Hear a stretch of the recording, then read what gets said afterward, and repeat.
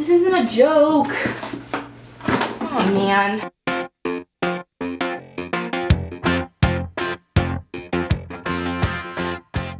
Hello everyone, welcome back to my channel. So today I'm going to be doing a video all on high school, how I'm surviving my junior year of high school. If you don't know, I'm a junior in high school.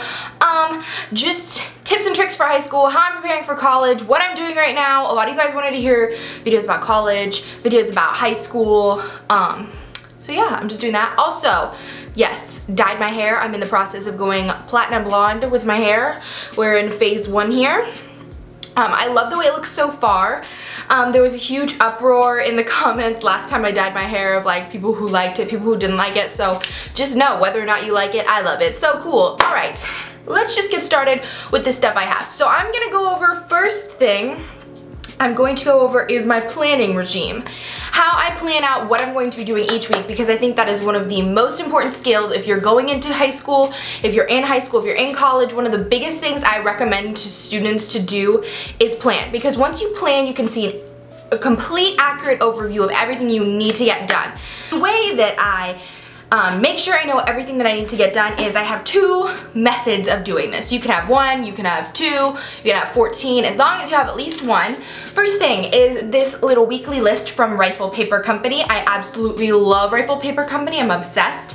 And so I purchased this and essentially it lists out all of the days of the week and then it gives you space to write down everything on it. So this is kind of like a planner, but it's a super simplified planner. So if you find that you get overwhelmed with a lot of planners, pick up one of these and try it. I think this is like $18, something like that. It has 52 weeks in it, so every um, week of the year with you. But if you want a more portable planner, this one is great. This is my uh, Lilly Pulitzer planner. I've had an Erin Condren, but I actually really love this one a lot. It gives me maximum amount of space. Um, I tried to link this down below in my last video, but this print is actually sold out for the rest of the year. So when she releases her new ones come the end of summer, I think she'll release some new ones because come like um, time for school years and things like that. So just wait it out till summer. But I think this is like Splish Splash print or something like that. I listed it down below. But this is the large. This is the largest one you can buy and I absolutely love this. However, I know there are people who don't just because it doesn't fit in your purse. If you're a girl or a guy who wants your planner to fit in your purse, this is not it. I mean, you can get a smaller size of this, but the large planner will be too big for you. I think this is definitely a step in the right direction. Even if you don't have a planner or money to purchase a planner, a notebook will work just fine. Just make sure you have somewhere that you can keep track of everything because otherwise these assignments will, you'll think about doing them and then you'll forget about it and then you'll never remember because it doesn't come back up. Alright, so next part is going to be about AP classes. So if you are someone who is not in high school or you're coming into high school, um, AP colleges are, blah, blah, blah, AP classes are advanced placement classes. They are classes that will, you take the class for the entire year and then come the end of the year, you take a test and you get to see if you get college credit for the class. If you don't get college credit for the class, you just get your high school credit for it. So either way, you're gonna get high school credit for it, but if you pass the um, final test that they give at the end of the year, you will get college credit. And that's through like your state, through your school, they'll tell you when the test is. But as far as keeping up with those, it can be very daunting. First thing, like I said, planning. But second of all, prioritizing. It's really important that you realize that usually AP classes are going to be a lot more time consuming, not just because of the detail of your work, but the amount of work. Usually the most work I get is obviously from my AP classes because they're supposed to be like college classes. So if you are trying to like get around a lot of things in high school and just like skate by, AP classes are probably not for you, um, but I actually really enjoy taking them. I've loved the teachers that I've had that taught me AP classes. As far as preparing yourself for AP classes, sign up for Quizlet, which is a website that you can basically make your own cards for like flashcards if you enjoy doing that. Also buy flashcards. There's something in your brain that we do learn this in psychology, but I don't remember what the exact term for it is. Go me. Um, anyways, uh, you, there's just a part of your brain that helps memorize when you write things down. So if you ever have a problem remembering something, just keep writing it, keep writing it, keep writing it. So get some flashcards, sign up for Quizlet, also get the app Self-Control. Um, essentially, if you have a Mac, it's Self-Control. If you have a PC, I think it's called Cold Turkey.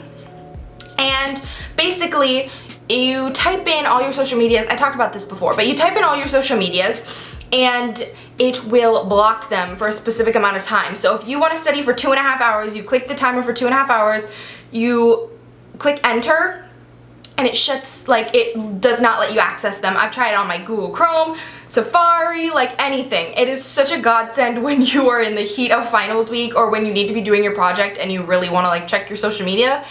Um, that is a great resource. Also, Spotify. I have a Spotify playlist full of instrumental, like ballad music that is perfect for studying because if you keep music in the background that's kind of mainstream, that has a lot of words in it, sometimes it's just hard to focus. My playlist has a lot of Tchaikovsky, it has some um, Beethoven, but it also has like some soundtracks. I have a little bit of the Interstellar soundtrack on it. The thing, I keep my notebooks, I know that a lot of schools have lockers, my old school had lockers, my new school does not have lockers, so some people like to keep things in lockers, but I would recommend this is not a five um, I mean a three subject notebook, but I would recommend for your AP classes, get a three subject notebook only because of how many notes you're gonna be taking. And it's nice to just have one notebook. I wish I would have just stuck with one. I kept like this one and this one and, th and all these different notebooks. If you just have one that has enough pages, I can guarantee you will not run out of pages if you have a three subject notebook for one class. So note taking.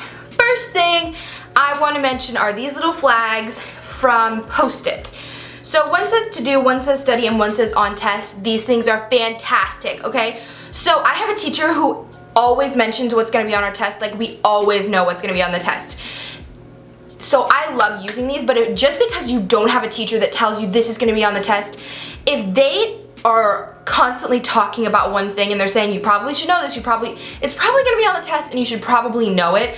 So either one of these um, would be great. I love just sticking these in a book or in my notes or anything like that so when I'm running over them right before the test or the night before, it's super easy. For whatever it is I'm looking for, anything that needs to be on the test, and they're such bright colors that they're perfect. I love these things. These are great. Um, another way, obviously, highlighting. You don't need to go out and get fancy post-it notes if you just got a highlighter. These things are great. Those Studying those notes that you took, definitely, definitely, definitely start studying three or four days in advance for the test. The night before is gonna be so stressful because you're gonna be like, I don't know this, I need more time, why didn't I start studying? Every time I start studying the night before, I'm like, man, should not have done this. Don't do that. Just like, I know sometimes you're just like, I don't wanna study, but what I usually like to do is, um, like four days before, that night, like four days before the test, the night of four days before, now that I can't say this, I make a study guide. So I type up everything I think I need to know, anything my teacher mentioned, anything I think is important, any notes that I took out of our book, anything that I feel like I should know, I type into a study guide. I print it out, staple it, put it on my computer, go to bed. Then the next day, I go through it, highlight anything I think is super important, like super, super important that made it through, then I will go over it probably for 15-20 minutes, put it away, go do something else. Then the next day, I will go over it hardcore, make sure I know most of the information, make any flashcards for anything that I don't know. Next day, this is the night before the test. You need to be memorizing all your flashcards. Um, if you don't know anything out of those flashcards, pull those out and go over those more and more and more and more and then look over your study guide again. If you don't know anything, you should be studying that now next day you should be ready for the test. I did because I'm gonna be a senior and ever since freshman year people have been thinking that I'm a senior so finally I'm gonna be the grade everyone thinks I actually am so so those were a few of my tips. I hope those helped. If they did, give it a big thumbs up. Thank you so much for watching. Um, and I apologize if any of my videos are sporadic for the next like week or so. I'm in the heat of finals week like I said. I have a bunch of projects doing things like that, so if I don't happen to get a video up, I apologize, but after that it's summer, and I'm gonna be putting up some bomb videos.